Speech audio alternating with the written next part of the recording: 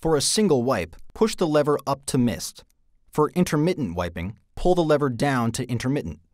For full-time low or high-speed wiping, pull the lever down to the low or high position. To spray washer fluid, pull the lever toward you.